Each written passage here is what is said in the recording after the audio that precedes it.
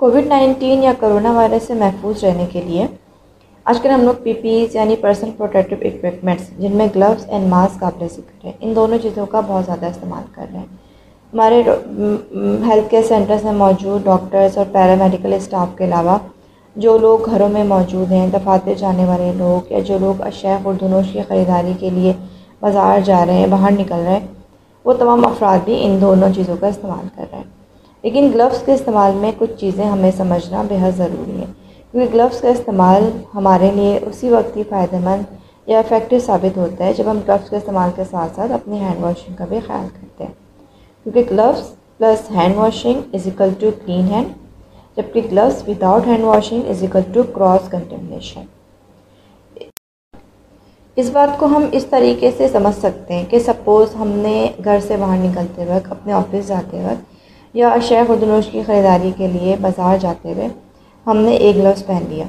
उसके बाद हमने अपनी गाड़ी के दरवाज़े को उसी ग्लव्स से हाथ लगाया। उसके बाद हम अपने ऑफ़िस पहुंचकर अपने लिफ्ट में भी हमने उसी ग्लव्स का इस्तेमाल किया। उसके बाद अपने ऑफ़िस में जो है मीटिंग रूम में बोर्ड रूम में वहाँ पर मौजूद टेबल को और दरवाज़े के हैंडल को या मुख्तलिफ़ हाई टच सरफेसिस को हमने उसी ग्लव्स वाले हाथ से टच किया। या फिर हम जब किसी मॉल में हैं, किसी ऐसी जगह पर हम ख़रीदारी कर रहे हैं, जहाँ पर हमने एक से ज़्यादा चीज़ों को टच किया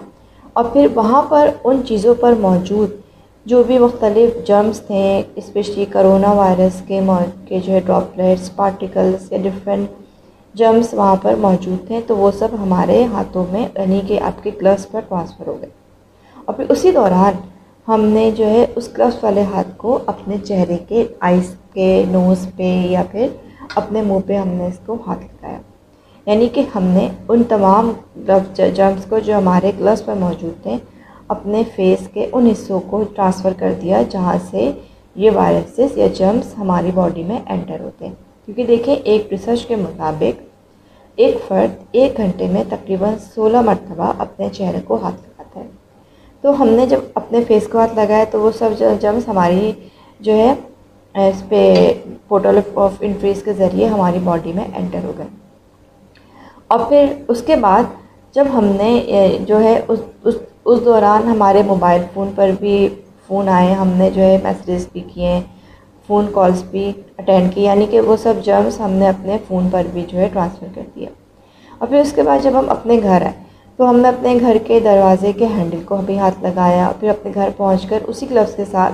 हमने अपने घर को भी मुख्तलिफ़ चीज़ों को टच किया। यानी कि हमने एक तरह से बाहर के तमाम जर्म्स को हम अपने घर में लेकर आ गए। ठीक है तो अब इसमें जो है हम, जो है एक तरह की फॉल्स सेंस ऑफ़ सिक्योरिटी में मुबतला है। यानी कि हम ये इस ध्यान में हैं, या हमारे जहन में ये बात है कि हमने ग्लव्स पहने हुए हैं तो हम सेफ़ एंड सिक्योर हैं। लेकिन हकीकत इसके बरक्स है। हमने जब पूरे इस पूरे सीन में हमने ग्लव्स को डिफरेंट हाइट सरफेसिस से टच किया, हमने मुख्तलिफ़ चीज़ों को इस्तेमाल किया उसी सिंगल हैंडेड ग्लव्स के साथ। तो हमने उन सब जर्म्स को हमने जो है एक तरह से क्रॉस कंटेमिनेशन का बायस बन गया, यानी कि हमने एक सरफेस को उन ग्लव्स वाले हाथ से टच किया, उसके बाद हमने किसी दूसरी सरफेस को टच किया तो फिर हमने वही जर्म्स वहाँ पर ट्रांसफ़र कर दिए। इससे अच्छा होता कि हम या तो हर स्टेप पर हम ग्लव्स को चेंज करते हैं, या फिर हम ग्लव्स इस्तेमाल करने के बजाय अपने हाथों को सैनिटाइज़र से या साबुन और पानी से वॉश कर लेते हैं। अगर हमारे पास किस जगह पर साबुन और पानी अवेलेबल नहीं है तो आजकल हमारी गाड़ी में, हमारे दफातर में हमारे पॉकेट में, हमारे बैग में हैंड सैनिटाइज़र मौजूद होता है। तो उस हैंड सैनिटाइज़र के ज़रिए हम अपने हाथों को साफ़ करके जो है, इस तरह की जो है, अपनी एक क्लीन हैंड को बरकरार रख सकते हैं। यहाँ एक बात और भी इंपॉर्टेंट है कि जब हम एक एक ग्लव्स को बारह यूज़ करते हैं या हम एक एक ग्लव्स को पहने हुए मुख्तलिफ़ हाइटर सरफेसेस को इस्तेमाल कर रहे होते हैं तो वो हमें बजाय इन्फेक्शन को कंट्रोल करने के या इन्फेक्शन से बचाने के हमें, वो हमें भी और हमारे इर्द गिर्द के जितने लोग होते हैं, जो हमारी फैमिली के लोग होते हैं, हमारे अतराफ़ में, हमारे ऑफ़िस में जो लोग होते हैं, उन तक मुख्तलिफ़ इन्फेक्शन को फैलाने की वजह बन सकते हैं। लिहाजा हमें जो है ग्लव्स के इस्तेमाल को कम से कम करते हुए हैंड सैनिटाइज़र या साबुन और पानी से अपने हाथों को हर फ्रिक्वेंटली और एक प्रॉपर तरीका जो हमें हैंड सैनिटाइज़ करने का हैंड वॉशिंग करने का डब्ल्यू एच ओ ने बताया कि वे बी, बीस सेकेंड तक अपने हाथों को एक मुकम्मल प्रोटोकॉल के साथ, जिसमें हमारे हाथों के तमाम हिस्से अच्छे तरीके से साफ़ हो जाए, उस तरीके से हमें अपने हाथों को